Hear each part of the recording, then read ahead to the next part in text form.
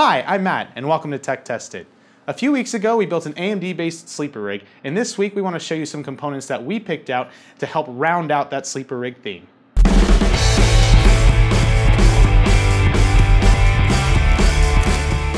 When choosing sleeper components, there are a couple approaches you can take.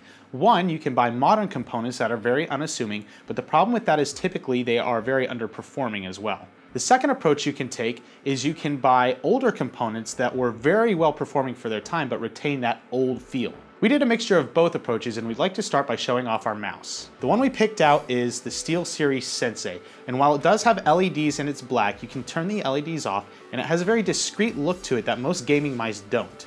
Now to give you a brief overview of the Sensei, I will tell you a few things I like and dislike about it. The things I like are, first of all, the build quality and the very discreet look. The LEDs, even though they're not what we're looking for necessarily, have a very nice glow pulse to them that isn't really intrusive. So I did like that. It also responds very well and it actually has this very nice braided cable. While that necessarily doesn't go with our sleeper style, it does have another sense of high quality to it. And in fact, Josh uses this same mouse on a day-to-day -day basis The things I didn't like about it is it is heavier than the mouse I was used to using and it's actually not adjustable on its weights either. It's a preset weight. And that's not a terrible thing, but it's something you're gonna have to know going into it. You have to be comfortable with a medium weight mouse. Another thing I didn't like about it is though the buttons on the side are in a nice place, on your right hand side, I found myself from time to time bumping them on the left hand side with my thumb, which was kind of annoying. And I eventually got used to having them there and I was able to avoid that. But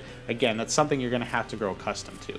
Overall, I think it is a fantastic mouse and I'm actually gonna use it for my primary desktop and switch my primary desktop mouse to my travel mouse. Next up on our list is addressing the monitor. Now that may be very controversial and you may think we are going to go with an old school CRT monitor. And while there was one we really wanted to consider, it's actually a 27 inch widescreen CRT. It's absolutely massive and it costs like $1,400 used. And that just wasn't in the budget and it wasn't in keeping with the whole price to performance thing we're trying to keep going. So what we did was we took a regular monitor, regular LCD monitor, and we installed the classic themes on it and we topped it off with a Windows 98 wallpaper. Um, we're gonna post links in the description as to how to do this, but it's very simple. Basically, you download some files and click and drag them into the source location for the themes in your Windows experience. This is on Windows 10 and they stopped supporting classic themes all the way back with Windows 7. So this is what you have to do in order to get it to work.